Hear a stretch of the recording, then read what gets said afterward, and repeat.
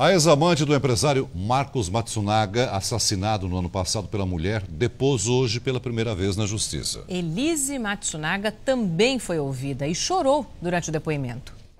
De capuz e óculos escuros, Natália Vila Real Lima foi a primeira a chegar. Ela é a jovem que aparece ao lado de Marcos Matsunaga nestas imagens. A traição foi, segundo Elise Matsunaga, o motivo da briga que terminou no assassinato do empresário.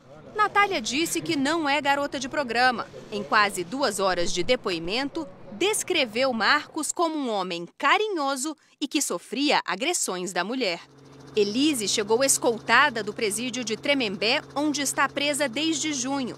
Esta foi a primeira vez que a assassina confessa falou à justiça e repetiu a versão apresentada à polícia, que a causa da morte foi o tiro e que agiu sozinha.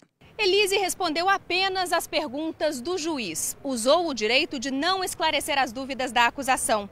A audiência de hoje é mais uma etapa de preparação para o julgamento. Serve para o juiz reunir informações e decidir se há indícios suficientes para que Elise vá à júri popular. Já a acusação se baseia na perícia para afirmar que o crime foi premeditado e que Elise teve ajuda para esquartejar o marido. Eu tenho certeza absoluta da existência de outras pessoas, de outra ou outras pessoas.